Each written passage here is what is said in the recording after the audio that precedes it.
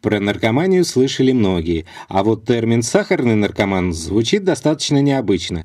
Кто такие сахарные наркоманы и как в избыточных количествах сахар влияет на организм человека? Вот тема этого выпуска. Здравствуйте, мои хорошие!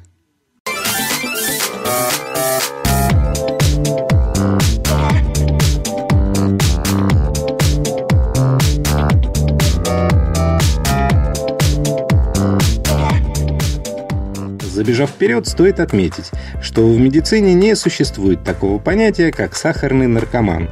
Однако ученые по всему миру все чаще начинают уделять пристальное внимание данной проблематике. А что такое сахар, знает каждый из нас с самого детства – это белый сладкий порошок, получаемый промышленным путем из некоторых видов растений. Думаю, что я не открою большого секрета, сказав, что сахар не является пищевым продуктом, необходимым для функционирования нашего организма. А в чистом виде он не содержит витаминов, минералов, белков, жиров и ферментов. Но, как ни странно, многие не представляют свою жизнь без него. Откуда же появился сахар? А большую часть времени существования человечества сахар не был знаком людям. А сейчас среди всех пищевых добавок сахар имеет наибольшее распространение. Если говорить о коричневом сахаре, который изготавливается из сока сахарного тростника, то его родиной считается Азия, где он был известен со второго тысячелетия до нашей эры. Еще 500 лет назад э, в большинстве европейских стран пищу было принято подслащивать только медом – а о сахаре знали далеко не все их жители. Сахар являлся дорогим заморским лакомством, относящимся к роскоши и доступным только высшим слоям общества. А вот извлекать сахар из свеклы человечество научилось только в XVIII веке. Но лишь с XIX века производство этого вещества начало набирать промышленные обороты, что позволило многократно удешевить его и сделать доступным каждому человеку. В современном мире, по статистике, каждый человек в среднем потребляет от 60 до 100 кг сахара в год. А рассматривая химический состав сахара, можно обнаружить, что более чем на 99% чистый сахар – это простой углевод. А почему же тогда в народе сахар часто называют еще сладкой смертью? Как всегда, народная мудрость оказывается права. Дело в том, что углеводы бесспорно необходимы для правильной работы наших организмов. Но когда происходит их чрезмерное поступление, тут-то и начинаются всевозможные проблемы со здоровьем. Вот лишь некоторые недуги, возникновение которых зачастую связано с избытком сахара в пище.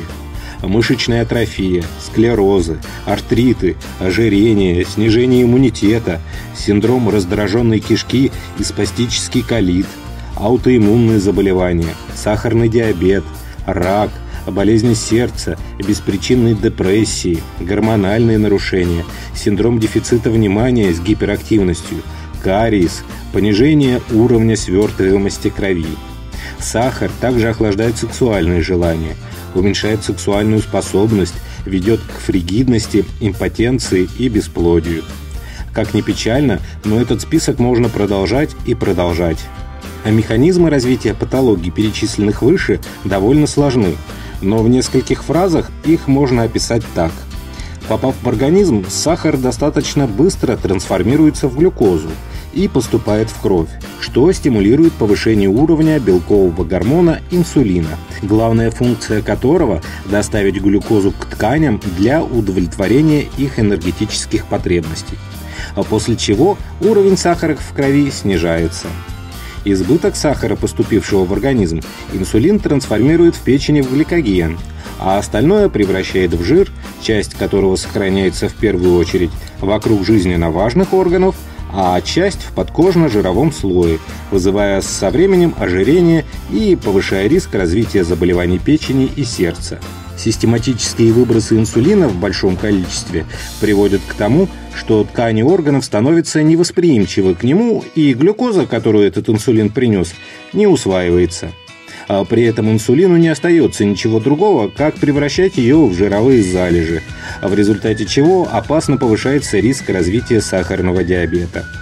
Избыток сахара становится причиной чрезмерной потери организмом многих жизненно важных минеральных веществ, в том числе кальция, истощает запас протеинов, приводит к вымыванию витаминов, что ведет к возникновению кариеса, вызывает остеопороз, разрушение костей и хрящевых соединений.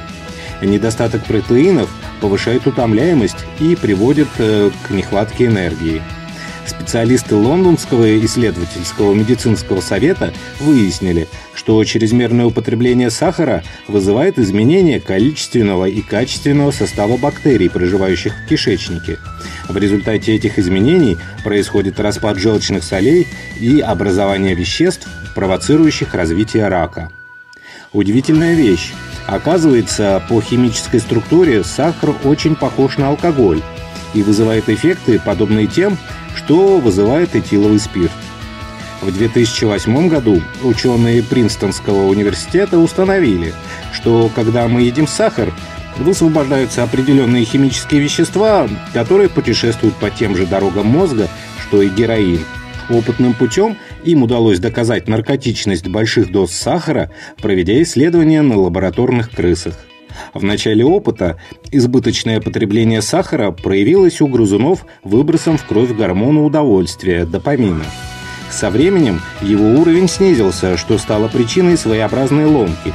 Поэтому для поддержания исходной концентрации допамина крысам увеличили и без того огромную дозу сахара. Если говорить о человеке, то в наших организмах сахар вызывает всплеск гормонов счастья – эндорфинов – которые окрашивают впечатления в радостные цвета.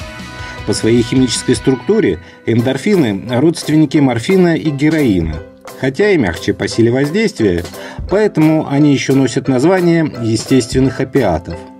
На поверхности мозговых клеток имеются крошечные молекулярные структуры, называемые опиатными рецепторами.